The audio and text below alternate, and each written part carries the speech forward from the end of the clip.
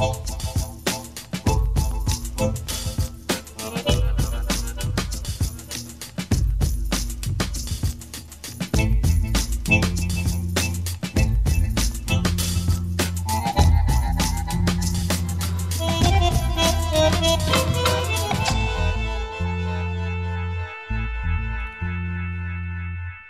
da živimo u nekoj savršenoj oluji gde su se pogodile sve najgore moguće stvari. Dakle, imamo ogroman broj ljudi koji su zaraženi, koji su hospitalizovani, koji umiru svakoga dana. Možda na početku, profesor Radovanoviću, dakle, uvek imamo te zvanične brojke, jeli? Da li vi kao Ujedinjeni protiv covid i vaše kolege imate načina da saznate približno realnu situaciju? Bar nekoliko puta do sad sam rekao da je ta manipulacija brojevima to krivotvorenje podataka najveća prevara u 800 godina dugoj istoriji medicine Srbije. E, to se tako bezočno radi, tako bezobzirno i ja bih podsjetio da je 29 marta prošle godine predsjednica vlade i predsjednica kriznog štaba ponosno je saopštila da imamo savršen sistem, elektronski sistem koji je plaćen, ali vredi svaku paru za praćenje podataka i zaista nametnut je jedan sistem da u roku od dva sata svaki lekar mora da prijavi svakog pozitivnog, svaku hospitalizaciju, stavljanje na respirator i svaku smrt. Dakle, u realnom vremenu a, mi smo, očekivalo se, trebalo je da imamo apsolutno tačnu, realnu situaciju šta se dešava u Srbiji. To je tako išlo u aprilu, podaci su bili malo neverovatno, neke odluke su delovale prenaglašeno, zvanični podaci nisu ukazivali na tako dramatičnu situaciju, a onda je Natalija Jovanović iz Birna pokazala da su stvarni brojevi umrlih 5 do 6 puta veći nego što je zvanično saopštavano u aprilu. Ja sam tad e, postavio pitanje članovima kriznog štaba u čemu se radi, recimo, sećam se za 13. ili 14. april, da li je umrlo petoro, kako je zvanično saopšteno, ili 23. Pa mi je rečeno, evo, proverit će, pa posle nisu stigli da provere. Jasno je bilo u tom trenutku da se manipuliše. E sad, Posle, kako je došao onaj drugi talas, kada je neko naredio da tokom 35 dana broj umrlih ne sme da bude veći od jedan. Neko je to šaljivo prikazao kao kosilicu za travu. Dakle, 35 dana broj umrlih je uglavnom bio jedan nekoliko puta nula. U prirodi nemoguće je da doći do takve raspodele brojeva ako se direktno ne manipuliše, nekih dana morala bi da budu po dva umrla, nekad možda i tri, a moralo bi da bude više dana sa nula umrlih pri takvoj distribuciji. Naravno, stvarni brojevi su bili mnogo veći. Onda se pokazalo da je to verovatnoća da se zaista tako nešto desi je 1 prema 4 miliona. 4 miliona puta treba da se desi takva epidemija da bi samo jednom brojevi bili tako neobično raspoređeni. A, imali smo prošle zime opet jako neobičnu raspodelu, verovatnoća je bila 3, 1 e, prema 3,5 milijarde, znači to su kosmičke verovatnoće, znači e, e, treba da se desi 3,5 milijarde takvih epidemija da jednom dobijete tako neobičan bri, e, e, niz. A ovog septembra Igor Smolić sa Instituta za fiziku pokazao je da je e, raspodela koja je zvanično prikazivana u septembru toliko neverovatna, jedan prema bilion, znači milion miliona puta treba da se desi epidemija da biste jednom dobili, znači e, broj umrlih e, kretao se u septembru od 15 do 47. A svaki put razlika je bila e, iz dana u dan 1 do 2, nikad 3. zvaničnici se vade, pa evo tako desilo se. Ne može tako da se desi. Znači, e, prirodni niz ne može da bude takav. E, tu je neko intervenisao. Znači, ili je distribucija ovaj, suviše ravna ili je na drugi način neprirodna, ali suština je u tome. Tu ne može da se kaže da su podaci bili nepotpuni ili ovakvi ili onakvi, bilo kakvi da su, makoliko deficijentni, makoliko krnji podaci, ako se pošteno beleži, takav niz brojeva ne može da se dobije. Znači, to je baš onako uvredljivo i ponižavajuće, utoliko pre što e, i krizni štab se tim povodom nije oglasio, znači stoji iza toga, a jasno je da nas onako baš e, drsko vuku za nos. Da li vi dovodite u sumnju i e, broj ljudi koji su testirani? Ili koliko sam ja mogla da razumem da neki od vas smatraju da recimo ako neko jednog dana radi antigenski test i PCR test, da se vodi kao da je to dvoje testiranih, jel?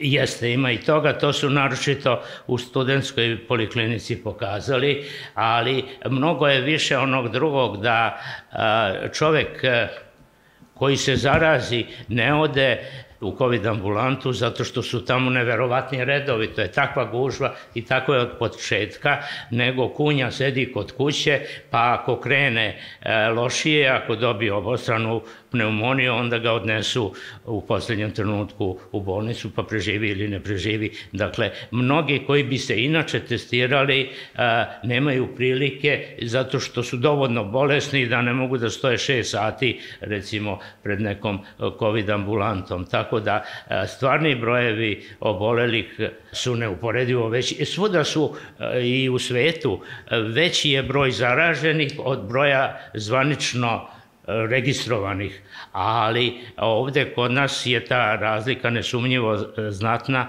a što se tiče umiranja, zna se, pokazali su drugi u svetu koji su računali za nas.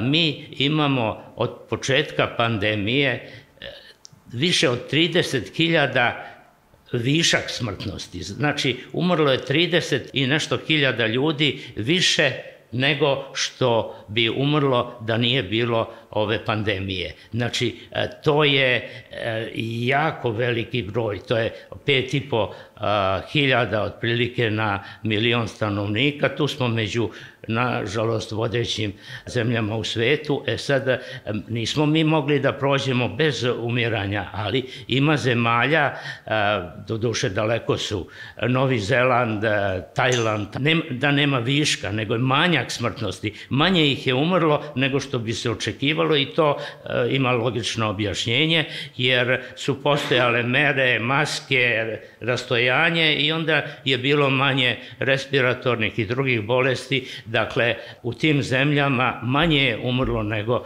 ali ima i e, drugi, recimo, u Evropi, evo Island ima 150, a mi 5,5 hiljada umrlih na milion. Dakle, oni su pro, prošli 30 ili 40 puta bolje. To su enormne razlike i tu se postavlja pitanje odgovornosti. Zašto mi nismo prošli sa, recimo, 3000, a ne sa 35.000 umrlih? Ono sve što nam se dešava je to zbog čega smo se mi i, i osnovali. Već tada se znalo, kada je to sve počelo i kad smo imali onaj, onaj najsmešniji virus, pa onda ono celu priču nakon toga ona zatvaranja, pa ne znam, mala groblja, pa nakon toga utakmice i koncerte, pa odsustvo svih mera i nakon toga izbore. Nama je kao ovaj, lekarima bilo jasno da, da je to, da je došlo nakon minutu 12 i da ako mi, ako mi ostanemo u svom nekom tom konformističkom uglu, jer većina nas koji smo tu su onako ovaj, prilično dokazani profesionalci u svom poslu i a, ti ljudi koji su se inicijalno krenuli sa tom peticijom, niko tu nema nikakvu političku ambiciju ovaj, u smislu klasične politike. Tada se okupilo nekih desetak, malo širim priču, pa čisto da vam to pojasnim. Okupilo nekih desetak kolega ispred crkve Svetog Marka koji nisu želeli da se predstave imenom i prezimenom. Ja sam došao u kontakt sa dvoje kolega koji su iz tog kruga, i pokušali smo nešto da uradimo. Smatrali smo da bi bilo jako dobro ako možemo da okupimo 100 lekara koji smeju imenom i prezimenom da stavimo iza, iza jednog takvog proglasa poput ono koje smo mi ovaj, tada izneli u javnost, da tražimo odgovornost za to što se dešavalo, kako stvari prosto ne bi otišli dalje. Nekako smo prošli ispod radara i uspeli da skupimo 330, čini mi se nešto kolega, nakon čega je već sve to krenulo i krenuli su pritisci i to je jako brzo, kao što znate, narastlo na oko 3000 ljudi. Nakon toga sve, sve desilo ono što smo očekivali, to je da se krene sa pritiscima na koje mi ne možemo da se branimo jer je to onako jedna disperzna priča, tada je koleginica ovaj, Saša Ljuština, na, na, koja je radila u GAK-u i dala otkaz zbog uh, jedne vrste mobinga koji se tamo dešavaju i pritisaka. Kolega Orelj takođe ima pritiske, znate celu situaciju na VMA i sve što je tu sledilo i onda su morali da se nekako organizujemo kako bi zaštitili te potpisnike jer su praktično postali glineni golubovi. Ono što se dešavalo nakon toga, ovo što me vi pitate, je za nas očekivan sled događaja. To je taj jedan onako prilično onako neverovatan populizam, jer tako je to kad se zaigrate sa medicinom i jednom pandemijom radi brojeva, radi rejtinga. Tako je to kad dovedete ove ljude, ko što, su, ko što su oni dovedeni u taj krizni štab. Ja ne znam, svaki dan se čudim kad ih gledam kako mogu to da rade. I mi smo morali, morali da sačuvamo lično dostojanstvo, da, da pokušamo da, da, da sačuvamo i dostojanstvo struke u tim i takvim vremenima i to je osnova zbog čega smo mi prosto izašli sa tom pričom. Bilo je jako bitno da u izvršnom odboru i savetu imamo čvrste ljude, kako se ne bi polomili iznutra i mislim da smo to uspeli da postignemo. Taj jedan neverovatan populizam koji se kod nas dešava kada pričamo o, o borbi protiv ovog virusa je prosto stalno iznova vođen. Mi praktično, po mom nekom uverenju, nikada nismo imali nijednu meru koja je imala apsolutnu ideju i cilj da ljude polako i smisleno vodi kroz jednu pandemiju. Mi smo imali samo ad hoc pokušaje koji su na, na kratko dizali nekome popularnost. Iz tog razloga, ono što smo mogli u tom trenutku, to je da se vraćamo na zakonska rešenja. Zakonska rešenja su ta komisija za borbu protiv zaraznih bolesti, koju čine profesionalci, kakve god da su nam institucije, oni delegiraju te ljude, tu je ministar sa njima, da se ta stvar koliko može vrati pod okrilje, sa sada već je ta reč onako postala isprazna struke. Mi smo izgubili godinu dana. Mi smo u januaru mesecu tražili da se razmotri obavezna vakcinacija za određene kategorije. Sad smo u jednoj onako prilično beznaležnoj situaciji. Ja tu se vraćam na tu priču. Kada se tako zaigrate sa pandemijom, sa takvim motivima, onda dođete u ovako beznaležnu situaciju. Isforsirate sve te ljude na nacionalnim frekvencijama da mi ne možemo da se pojavimo, da pričaju kako virus ne postoje i bave se ne znam kakvim teorijama zavere. E, nakon toga, kad vidite da je sve otišlo predaleko, onda molite ljudi da se vakcinišu. A nemate snagu da bilo šta uradite jer se plašite. I, I mislim da je svima jasno o čemu se ovde radi, da mi više ne trebamo tome da pričamo na, na način kako ovaj, šta treba uraditi. Ovde treba potpuno resetovati ceo sistem da bi se o tome pričalo. Prva stvar, mi što se mene tiče, imamo svaki dan dan žalosti. Svaki dan umire između 100 i 200 ljudi. Ovde trebaju da budu sastave spuštene na pola koplja. Da se sluša ozbiljna muzika. Da se ukinu reality. A nakon toga da se kazne i uklone iz medija ljudi koji govore o teorijama zavere, pa da se krene na neku obaveznu vakcinaciju, pa da se uvedu mere, pa na kraju da vi dođete do nekih COVID propusnica koje bi važile na jedan sistem, jedno društvo koje je to shvatilo. Mi to sada, naravno da nemamo, i ja zaista ne znam u jednom ovako sluđenom ovaj, društvu na koji način to može da se uredi. Ja se samo nadam da će u jednom trenutku akademska javnost ljudi koji brinu o budućnosti ove zemlje, svoje dece, nekako da se ovaj, aktiviraju u smislu da podrže jednu inicijativu da se ovakav više besmislene stvari ne događaju, da, da se sistem resetuje u smislu makar borbe protiv pandemije od početka. Hvala vam, doktorko Gavrilović, vi ste mnogo vremena proveli u crvenoj zoni. Imam utisak da među vašim kolegama vlada već i bes i ogorčenje i nemoć Gradska bolnica je peti put u, u COVID sistemu, ja više ni ne pamtim vreme kad, kad nismo bili u njemu, mi smo se stvarno nadali da će na neki način da se pomogne i nama i, i, i pacijentima, međutim, e, taj bes, ta ljutnja, to ogorčenje, to razočarenje, to je prošlo, mi smo pregoreli. I porazno je kada čujemo da je država uradila i više nego dovoljno, jer, na primer, izgradnja tri COVID bolnice, nove, Nama nije pomogla da se izvučemo iz toga, bez obzira na Batajnicu i na Kruševac i na Novi Sad, mi smo i dalje u COVID sistemu, znači ništa se nije promenilo za ne COVID pacijente i za nas koji nismo naučili ništa, odnosno nismo bili spremni da uđemo u ovo. Mi smo svi hibridni COVID doktori. Mislim da u startu nije e, objašnjeno dobro šta znači kad bolnica uđe u COVID sistem. Jer tog trenutka kada ministar odluči da, da se neka bolnica uključi u COVID sistem, u toj bolnici staje sve. Znači, zatvara se porodilište, zatvara se oralo za decu, zatvara se hirurgija, operacije staju, interna medicina ne radi, diabetičari, asmatičari, maligni pacijenti više ne dolaze.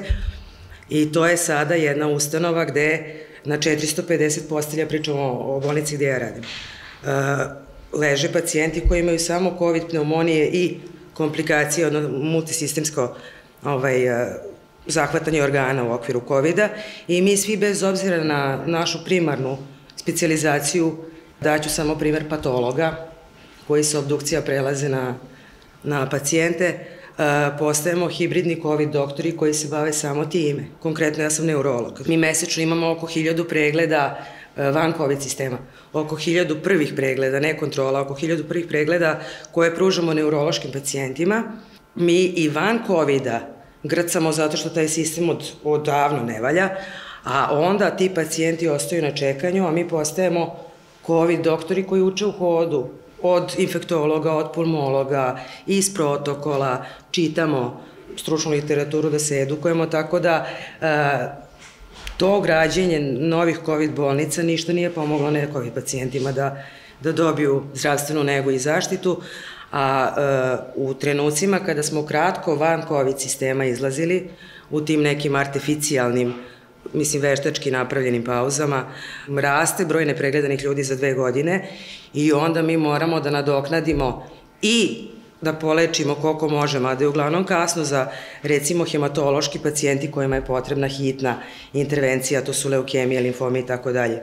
Njima ako se ne pruži pomoć u vrlo kratkom vremenu, oni nemaju, nemaju prostora da sačekaju dve godine. Mislim, porodilje ne mogu da odlože trudnice svoj porođaj za dve godine. Onda mi nadoknađujemo to, a mimo toga što se sukcesivno nagomilava broj ljudi koji čeka, se opet osoblje iz ne COVID bolnica povlači u COVID bolnice, odnosno ide na ispomoć u batajnicu, tako da je to jedno presipanje i šupljeg u prazno gde nema kraja, jer kad si u ne COVID-u pomažeš COVID bolnici, kad si u COVID-u opet to radiš, tako da ne vidim možete e, način da se to nekako reši, a pacijenata sve više, invaliditet sve veći i mortalitet naravno moram da se naslonim na, na ovo što je profesor Radovanović rekao za, za krivotvorenje brojeva. Nama je bilo jasno u jednom danu, u aprilu prošle godine, nezavisno od statistike koja je neumoljiva, da brojevi nisu realni, jer e, cifra koju su iznali na kriznom štabu za celu Srbiju je bila manja nego cifra koju smo mi imali u dva KBC-a u Beogradu. Prosto se čujemo telefonom i pitamo koliko vam je ljudi umrlo. Saberemo dva KBC-a i dobijemo cifru koja premašuje broj za celu Srbiju, tako da mm, iz ovoga izlaz postoji, ali ako je radikalan, e, medicina je okrenuta na opačke i potpuno sumanuto postavljena da se sada e, provlači taj neki narativ bolje lečiti nego sprečiti, što je potpuno, mislim, gradnja COVID bolnica dolazi u obzir posle sprovođenja svih protivepidemijskih mera, to profesor najbolje zna, ja stvarno nisam pozvana da pričam o tome, ali znači kada sprovedeš rigorozne protivepidemijske mere, preventivu i vakcinaciju, onda dolazi u obzir lečenje. Ne možeš da pustiš da se ljudi razbole, da dođu na ivicu smrti, pa da ih onda ti lečiš u nekim, ne znam kakvim COVID bolnicama i ne znam kakvim terapijama, za koje i dalje ne znamo kako deluju, jer su to sve e, pokušaje i pogreške, jer leka protiv COVID-a nema. Ima ljudi koji bi mogli da, da ovu krizu izvedu onako kako treba, ali to bi podrazumevalo da se pre svega politika izvuče sa terena struke. Ja sam o tome već i govorio javno. Ja smatram da je taj upliv politike na, na, na teren struke možda i opasniji virus od, od, od COVID-19 i da u nekoj perspektivi zaista može da odnese i više života. Skoro svi su ovaj, lekari u ovoj zemlji i zdravstveni radnici ujedinjeni protiv COVID-a ja bih tu izuzeo samo one koji su, da kažem, direktno po nekim političkim linijama i zahvaljujući nekoj negativnoj selekciji ovaj, došli u poziciju da odlučuju i u poziciju da upravljaju. I vi onda kad imate to neko više decenijsko, ali tako, e, e, djelovanje koje se zasniva na negativnoj selekciji, principu politike, pa naravno da će onda kada dođete u realnu krizu jer i u realan problem vam se dešavati ovo što se nama dešava. Dakle, osnovni problem ovde jeste što ljudima koji znaju da u ovoj situaciji nešto rade, ovaj, nije dozvoljeno da to rade. Jednostavno ovde je osnovni problem upliv politike i to što se nama dešava i što mi živimo ovaj, u poslednje vreme je jako izraženo zato što je sada na terenu smrt. Odnosno, jedna ozbiljna bolest koja, ko, koja donosi smrt i to je po meni potpuno nedopustivo. Čini se da je svako u stvari kritičko neko delovanje i kritičko razmišljanje koje se bazira na medicinskim činjenicama, koje se bazira na nauci, proglašava za u nekom negativnom smislu bavljanje politikom, što je potpuno besmisleno. I to se proglašava za neki čin neposlušnosti, je tako? Pa je takva percepcija u velikom delu javnosti, čak i one dobronamerne prema delovanju u udruženja, a to je daleko od toga. Iako, da kažem, u nekom normalnom ovaj, društvu bi to bilo pozdravljeno kao jedna evolutivna stvar na kraju krajeva. Ovaj, ima Fromm je negde zapisao da istorija u stvari počinje, jel tako, činom neposlušnosti. Ovo što mi pre svega radimo je uh, bazirano na nepristajanju da budemo manipulisani. Ono što neki od nas više, neki manje rade kroz neko javno delovanje, gde profesor sa ovim brojem godina je do te mere aktivan, to je, kako bih vam rekao, to je za svako poštovanje i to je nešto što ovaj, bi u stvari ova javnost trebalo da prepozna kao pokušaj da se ovde jednostavno zdrav razum negde čuje, nažalost se on ne čuje, jer smo mi zatrpani sa pored covid nas zatrpavaju razno raznim informacijama. Jednostavno, mi kao društvo nismo uspeli da se e, da dođemo do tog nekog e, stadijuma da shvatimo šta je prioritet, a u ovom trenutku je prioritet to što su ljudi bolesni, što ljudi umiru, što nemaju mesta u bolnicama, što je ovaj sistem u tom stanju da se vrlo teško može nazvati sistemom, već jednom olupinom koja jednostavno nije u stanju ni da generiše jednu jasnu poruku prema ljudima i onda mi dobijamo to što dobijamo da se u stvari preko velikog broja medija plasiraju tako neke informacije, neki dobre, neki loše, ali to se sve svodi na to, sad je nešto ovaj objavio krizni štab, sad mi treba da ovaj kažemo nešto kontra toga i tako nas ubacuju u jednu polarizaciju koja je onako bazirana na najprizemnijem ono jednom realitiju, na jednoj kulturi u koju nas guraju. A u stvari moralo bi da se sve potpuno izvuče na jedan teren profesionalizma pre svega, na jedan teren nauke i, i, i medicine i to se nažalost ne radi neko ili ne ume to da uradi ili ima interes da to ne uradi, tu trećeg e, objašnjenja jednostavno ne. Sramotno bi bilo za državu kada ne bi bila sposobna da sprovede elementarne mere e, u cilju zaštite e, stanovništva. Dakle, to što je pominjano da ima malo inspektora, To nam se dešavalo i ranije, ali to je stvar loše organizacije sistema. Kad se kaže, to je bilo i 2009 kad je bila pandemija gripa, svinskog gripa, pa evo imamo malo sanitarnih inspektora, pa prebaci ove druge inspektore, jer postoji generalni inspektorat u okviru sistema, a baš ka što u institutima i zavodima za zdravstvenu zaštitu svi osim a, sektora za zarazne bolesti su bili pasivni. Dakle, angažujete sve moguće. E, to je trebalo i prošlog aprila, ono kada a, oboleli nije mogao da dođe, to je bio sistem na papiru korektno zamišljen, javite se epidemiologu. A ja sam izgubio više e, poznanika i prijatelja, jer su me zvali, e, pa kaže, ne može da se dođe do epidemiologa. Nisam mogao ni ja da dođem. To je stvar, e, znate, razlike između teorije i prakse. Vi smislite nešto što ne može da se, znači, bilo je potrebno iskusne više tehničare, sanitarne tehničare, socijalne medicinare, sve ostale angažovati i onda bi sistem e, funkcionisao. Ovde jasno je da treba angažovati ostale. Ja sam u životu nekoliko puta imao ovlašćenje sanitarnog inspektora, mada nisam inspektor, ali kad je gusto, kad je bila variola, kad je bila ona poplava 1981. E, nekoliko drugih posebnih e, situacija, znači imao sam ovlašćenja, dobio privremenu dozvolu.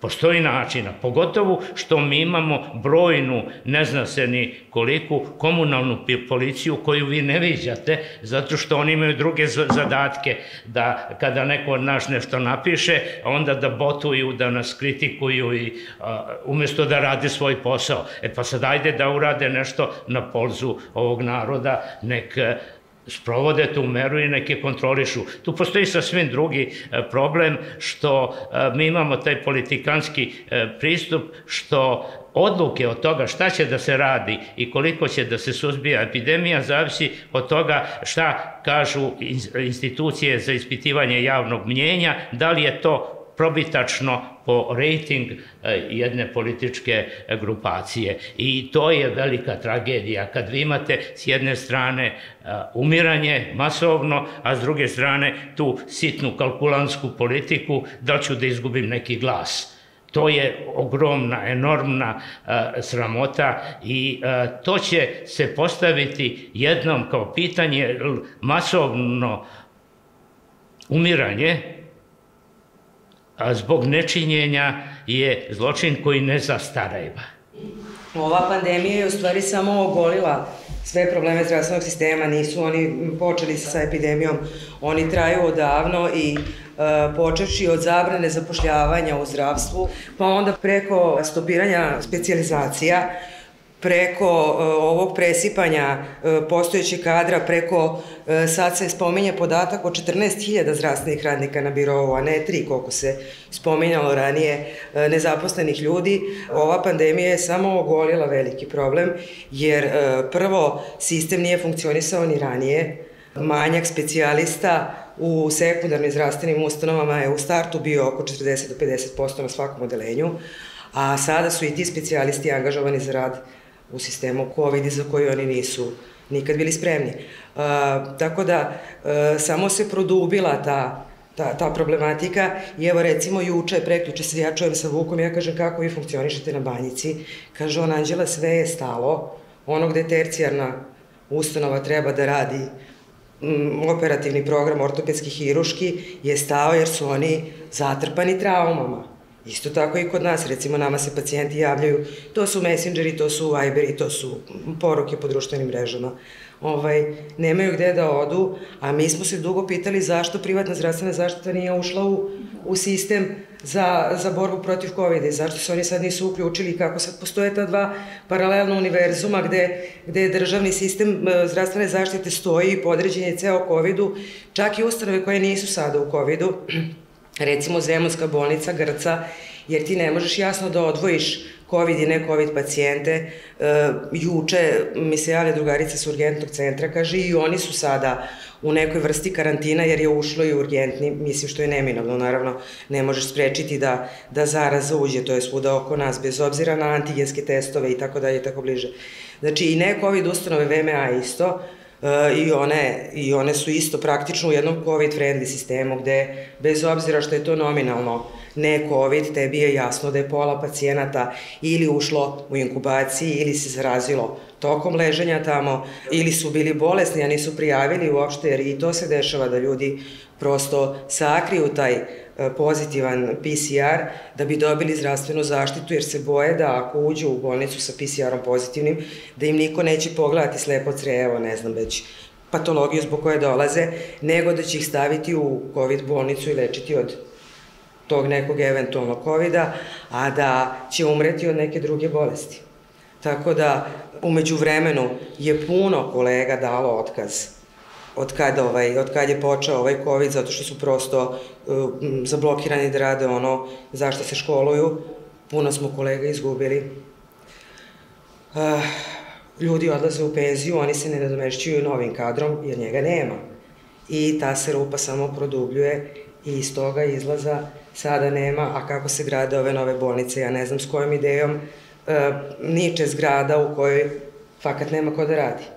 Tako da i ovo malo nas, mislim, zdravstveni sistem u, u državnim ustanovama e, funkcioniše jedino i isključivo e, zahvaljujući entuzijazmu pojedinaca. I taj entuzijazam polako opada zato što nemamo mi snage, znate kako, mi se borimo protiv ove boleštine koja je mnogo ružna i mnogo je užasna. I kako dani odmiču vidimo da to ne štedi ni porodilje, ni trudnice, ni decu, nažalost. Mislim, svaki gubitak je strašan bez obzira na to koliko pacijent ima godina.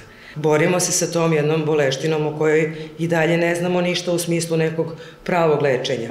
Onda se borimo protiv tih lažnih informacija, poloinformacija, šarlatana, ljudi koji traže neki, neku pažnju, neki prostor za sebe na uglavnom medijima sa nacionalnom frekvencijom koji potpuno budalaštine pričaju i zavode ljude koji, mislim, prirodno ja razumem da će čovjek da poveruje da će lakše da mu pomogne Pavlovićeva mas nego maska, ali uh, onda imate i borbu na tim frontovima, onda svoje slobodno vreme posvećujete tome da, a ne možeš da se repariraš iz smene u smenu, da se odmoriš od od, ovaj, od rada u crvenoj zoni, a, slobodno vreme posvetiš tome da tim pacijentima koji su ne COVID, koji su tvoji neki dugogodišnji, moje multiple skleroze i tako dalje.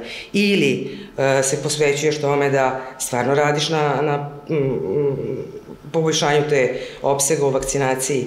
A, prosto, ovo nas malo, koliko nas ima, ne možemo na svim frontovima da funkcionišemo više, a da ne izgorimo. I meni je potpuno jasno kad se ovo završi da će pola nas zaista da okači mantila, ne samo da ode, nego da prestane da se bavi medicinom, jer je bavljanje, mislim, medicinom u Srbiji jedan, jedan rat ne samo za zdravlje ljudi, nego i za zdravu pamet i za, i za nešto na čemu se medicina zasniva od kad postoji, a što je sada potpuno kako da vam kažemo, bezvređeno i okrenuto na opačke, sumanuto potpuno šta se sve dešava i prosto mi za to nemamo kapaciteta više. Mislim da je suština u tome što je Anđela rekla da da je, da je stvar nekako ostavljena ovaj, na nekoj ličnom ovaj, angažmanu pojedinca.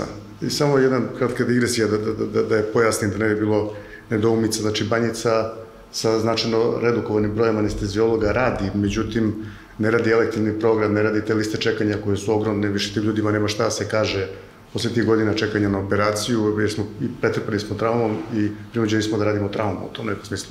Pa i da se vratim na ovo. Ta lična angažovanost pojedinca je bukvalno jedino što je ostalo.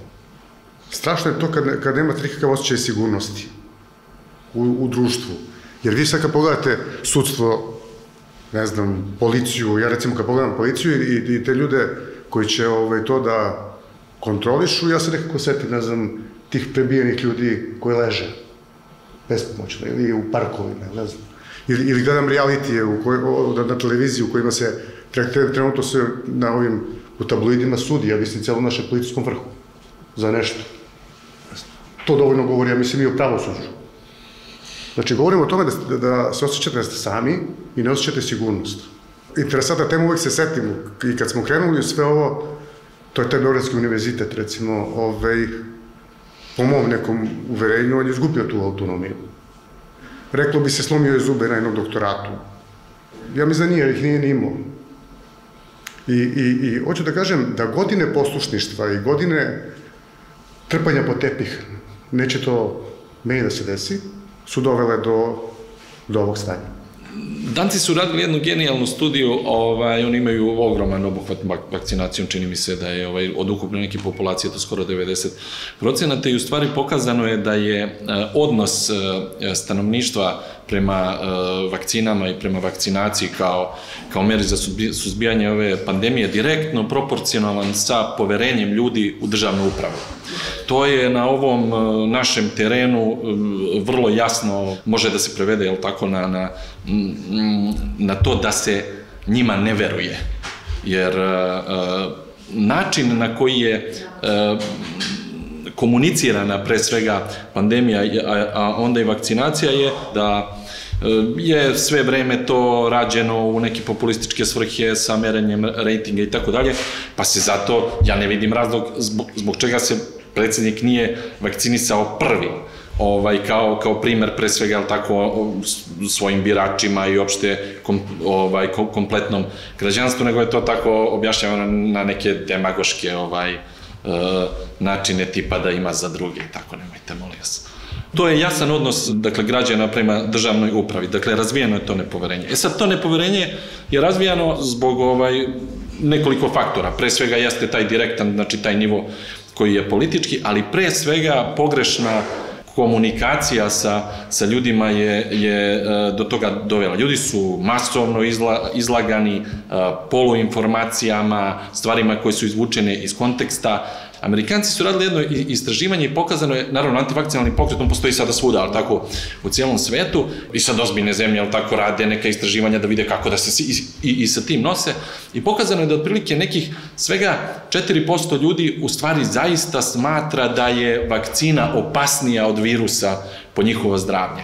Ali na to isto pitanje nekih 20% ljudi odgovara sa ne znam, možda nisam siguran. Dakle, oni imaju strah koji je baziran jednostavno na neznanju i na nedovoljno tačnim informacijama. Pa bi se onda u stvari, kad to prevedemo kod nas, znači taj procenat je mnogo veći. Nisu svi ti ljudi ti zagriženi antivakseri, nego su pre svega izloženi toj orkestriranoj jednoj kampanji, pre svega doći ću i na to. Dakle, oni su izloženi tim Viber porukama, tim što dobijaju na društvenim mrežama, onim što im se govori sa nekih televizija, nažalost i tako, i naravno da onda dolaze ovaj, u realne dileme. Znači, ljudi imaju realne strahove. I toj populaciji tako i treba prići. Znači, treba e, raditi na tom zdravstvenom prosvećivanju i na pojašnjavanju svih tih mitova koje su e, koji su se pojavili, jel tako, umeđu vremenu i kod nas su dosta dugo prisutni, ali bi to moralo da se radi planski, ciljano, Dakle, sve obuhvatno, da se radi edukacija dece u vrtićima, u osnovnim školama, u srednjim školama, da onda oni te informacije nose kući. Za to se moglo angažovati ovi nezaposlene kolege, jel tako, sa, sa biroa studenti medicine i tako dalje. Javni servis je mogao da napravi nešto što se zove obrazovni program, a ne sad vi da dovedete, ne znam, u jutarnji program dva, tri stručnjaka ili ne znam, u neku emisiju, pa oni sad pričaju, pa to je, mislim, to nije način. Jednostavno, moglo je da se to uradi na vreme, da bi se dobilo na tom obuhvatu koji je sigurno mogao da bude veći. E sad, to nije urađeno očigledno zato što oni donosioci odluka, kao što sam vam malo pre rekao, ili ne znaju ili nisu želeli. U velikoj meri to ima veze sa tim kakva je uopšte ta politička klima kod nas i ta garnitura koja vlada, ona u principu zna da se bavi propagandom, znači to je, to je svima jasno, ali moguće je da u stvari oni marketing doživljavaju samo kao jednu opsenu prostote, dakle da, da kad treba da se iskomunicira nešto što je e, realno i nešto što je istinito, nešto što je pre svega nauka, možda zaista sa tim imaju problem. Masa tih profila na društvenim mrežama su u stvari lažni, dakle to nisu realni ljudi, znači tu postoji neka ekipa koja to radi iz neko sa nekim ciljem, sa nekom idejom. Ovaj, oni koriste te mehanizme takozvanog uh, firehose of falsehood, što je ovaj, ta neka propaganda koja se stvari zove zapljuskivanje neistinama, gde vi u stvari non stop ponavljate potpune besmislice i iscrpljujete, jel tako, znači sagovornika koji besmisleno vi, vi ne možete ljudima da objasnite da virus je izolovan, kad vi sad sa hiljadu nekih kanala dobijete kao, nije, nije, nije a ne znam, na PubMedu, kad ukucate u bazi podataka, ono imate već na stotine radova, mislim, iz svih zemalja sveta, da su svi ga izolovali i tako dalje. A naravno, ovi ljudi koji se na to lepe, jer su prepoznali neke svoje, ali tako, i interese, kao i skoro većina političkih stranaka, a naročito oni koji su na vlasti i ovi neki malo desni, jer u principu to desno, to što vuče prema nacionalizmu, to se negde i uklapa u ovo, nacionalizam je sam po sebi, jel tako, što kaže Kiš, ovaj, pojedinačna i kolektivna paranoja, pa to kad u, u, u, ubacite ovo, da, pa to je onda naj, najpodložnije tle da se i to ubaci u ovo kao i onaj levi ekološki ovaj, populizam i tako dalje, ali ovo je problem zato što je ovde se radi o ljudskim životima i ti ljudi koji jašu na tom talasu, koji pokušavaju da to iskoriste, mislim, to je stvarno kako bih vam rekao, u životinskom svetu se to ovaj, zove lešinarenje i tu, i tu nema ovaj, ničeg, ničeg drugog i bojim se da bez jasnog nekog odgovora sad više ne znam ni koga, to samo može da se produbljuje i mi ćemo dugo da živimo ovaj, i ovu pandemiju i posledice ove pandemije. meni isto tako e, smeta uopšte medijsko izveštavanje o svemu ovome iz razloga što se sve vreme to bazira na nekom senzacionalizmu. Sad mi trebamo da govorimo šta je rekao, ne znam kon, šta je rekao, ne znam, Bestorović, šta je mislimo o tome, to su neki kratki ovaj, prilozi u, kome se, u kojima se mi ne slažemo i deluje da se sukobljavamo i to je jedan, meni prilično jeftin senzacionalizam. Ja bih se zaista medije, barem ove medije koji koji a, imaju snage, ako imaju snage to da urade, zamolio da razmotre da u svojim nekim prime time terminima dovode ljude koji su učeni, profesore univerziteta, imate profesora Radovanovića, ako je epidemiologija u pitanju, nije bitno, profesora ne znam, Dragana Delića. Profesora Miloša Markovića, docentkinju Minu Milošić i jednu plejadu ozbiljnih stručnjaka koji postoje na našim univerzitetima i dajte im prostor da ljude edukuju. Nije poenta šta ja mislim o tome što je rekao Nestorović. To će da se razmotri, ne znam, na nekom sudu časti nekada, ili kad lekarska komora bude postojala, ili, ili, ili negde, ali ne u medijima, u ovako delikatnoj situaciji. Kažite mi, molim vas, šta vi mislite o trenutnoj epidemiološkoj situaciji kada su u pitanju škole i s ovim merama koje su oni predvideli? To je opet absurdna situacija. Virus je svuda, prenosi se među decom, prenosi se među odraslima. E sad, odjednom, ajde da e, se skoncentrišemo na decu, a odrasli nek e, seju virus kako hoće. Jeste dovoljno dramatično, ja sam uvek bio da a, onaj nastava bude poslednja mera, jer e, gubitak u obrazovnom procesu za poslednjih 20 meseci je ogroman, ali sada je zaista situacija e, toliko je virus sve prisutan da bi morala i tu da se sta, donese eto sa pedagoške, obrazovne strane sporna odluka, ali mislim da je nužno da se i tu bude odlučan da bi se prekinuo ili usporio bar taj lanac prenošenja e, zaraze. E sad, problem je što e, moj kolega Đurić, e, epidemiolog iz Novog Sada, je analizirao taj sistem, tim za ovo, pa tu postoje razni timovi, pa direktor škole obaveštava, znači ide po e, liniji tih timova, pa po liniji zavoda, instituta za e, javno zdravlje, sve je učinjeno kao namerno da se zbunjuje i da se u stvari podeli neodgovornost za donošenje odluke. Dakle, mi ne znamo ovo što se kaže koliko je zaražene dece, mnogo je više zato što ako dete se ne javi lekaru, ili ako nema temperaturu, onda mu i ne rade test ili rade brzi, ali ne rade PCR i tako dalje, a najveći broj dece čak zaraženih roditelja ide u školu, ćuti, tako da je taj rezervoar zaražavanja ogroman. I u ovoj situaciji, e, dakle, stvar je u tome što mi moramo da razmišljamo o deci, ali i o celokupnoj populaciji. I tu jedino pomaže skup mera onako kako smo mi prvo krajem prošlog leta predložili, pa onda a, početkom septembra. Dakle, sve smo izlistali, ne treba nikakva mašta, 15 situacija, šta treba raditi. E sad, jedino tako, dakle, taj kompleks mera ima smisla i tako se radi u celom svetu. A da vi izvučite preškolsku decu samo ili ovaj, one koji idu noću po barovima, to je zaista neumesno i neukusno. I, Vidim da je Svetska zdravstvena organizacija rekla da je 115.000 lekara, medicinskih radnika umrlo. Mi o tome više ne izveštavamo uopšte. To, to uopšte nije tema ovde, je li tako? Ma to se i, i krije, srećom postoji sindikat lekara i farmaceuta koji je pratio, beležio svaku smrt lekara i došao do broja 130. Najveći broj njih je umro u tom prvom periodu kada je vladao potpuni haos i kad je ljudi, lekari koji su znali kako da se zaštite, ali nisu imali čime. Dakle, oni su na neki način e, žrtvovani, a lekari znaju šta i kako treba raditi. Problem je u ovoj zemlji što, kao što ste vi rekli, postoji to sluđivanje, to obmanjivanje naroda koje traje 30 godina, ali s druge strane postoji jedna negativna selekcija. Pitate ih ko je najugledniji u njihovim kolektivima i ko vodi te kolektive. Znate, tu postoji jedna negativna selekcija da ljudi koji nemaju ni autoriteta ni stručnog znanja dolaze na čelo ustanova, a onda su naučeni da ćute i slušaju, da odluka dolazi od gore. Jer ako malo nešto šušnu, pokažu neku inicijativu, makar za opšte dobro, oni će biti smenjeni i onako su u vede stanju. Tako da to je e, sistem koji je pogrešno postavljen, ne samo u zdravstvu, nego i prosveti i drugde, ali ovde je puklo.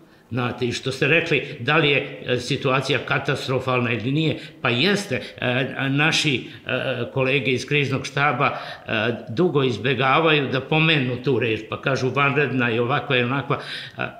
Po teoriji, a situacija epidemiološka je katastrofalna kad vi ne možete da zbrinete bolesne ljude. A mi već dugo to nismo u stanju čak e, e, ne bolesne od covid nego još one koji boluju od drugih bolesti. Pitajte, evo kolega je pričao šta se dešava, kako oni, boli ga srce, prosto vrate čoveka za koga zna da neće posle dugo da živi, zato što ne mogu da prime. Dakle, to je već katastrofalna situacija.